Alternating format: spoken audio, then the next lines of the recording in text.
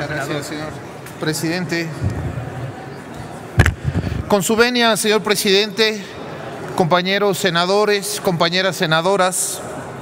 en el transcurso del siglo XIX las comisiones legislativas fueron evolucionando y se fueron consolidando, estableciendo su permanencia en las leyes.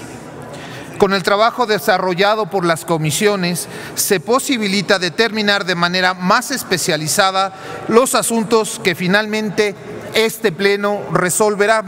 además de que sirven como mecanismos de estudio, depuración y desechamiento de los distintos asuntos que le competen a este Parlamento. Las comisiones ordinarias de las cámaras que integran el Congreso de la Unión las iniciativas, minutas, proposiciones y demás documentos relacionados con el trabajo parlamentario que realizan pretenden, en primer lugar, economizar tiempo, dar curso a los proyectos que cuentan con viabilidad para ser atendidos y de proporcionar a los legisladores la visión exacta, integral y clara del negocio o del asunto a considerar. Como ya ha quedado establecido, las comisiones contribuyen a distribuir el trabajo, a la vez que permiten un tratamiento más particular de los asuntos y actúan como un filtro, dando la posibilidad al Congreso de priorizar entre los muchos temas e iniciativas que ante ellos se presentan, por lo que se analizan, se debaten, se transforman las iniciativas con profundidad, con tiempo y facilitando su decisión de manera que facilitan a las cámaras el que puedan tomar decisiones lo más razonadas, eficaces y claras posibles. Sin embargo, nos ha tocado atestiguar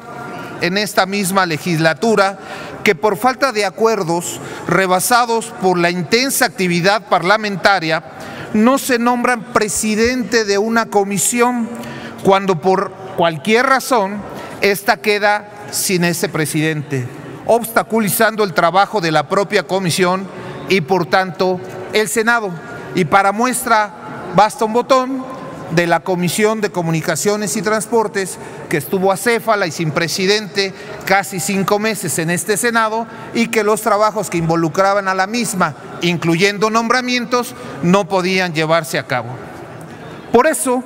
nos ha tocado, y para evitar los factores que influyen en el rezago y el retraso legislativo, les pido su apoyo a favor de esta iniciativa y esta propuesta que nunca comisión podrá que ninguna comisión podrá permanecer acéfala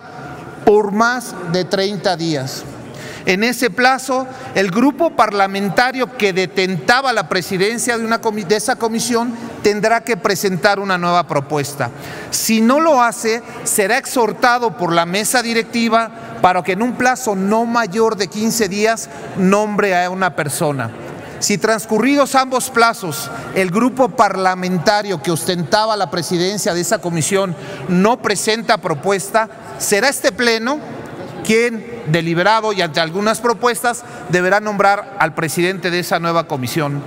Con este punto y con otros más que hemos aprobado en este, en, este Senado, pues logramos que se vaya acabando con la parálisis legislativa, logramos que haya más impulso y más trabajo en las comisiones, que finalmente es ese trabajo el que se ve reflejado en este pleno. Por tanto, señores senadores, señoras senadoras, les solicitaría su apoyo para votar a favor el dictamen en comento. Muchísimas gracias.